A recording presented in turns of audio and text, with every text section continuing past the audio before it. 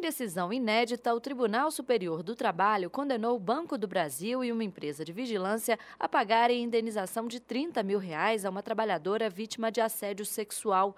Terceirizada, a vigilante era constantemente assediada por um gerente do banco.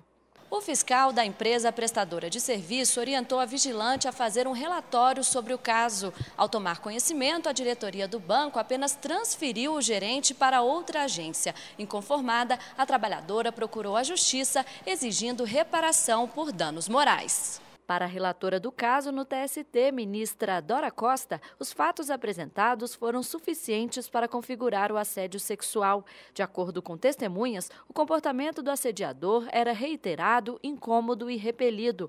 A companhia prestadora de serviço não adotou medidas para preservar a honra e a imagem da trabalhadora. Já o Banco do Brasil, ao transferir o gerente, tentou preservar a instituição sem promover a integridade do ambiente de trabalho. Por isso, as duas empresas foram condenadas a arcar com a indenização.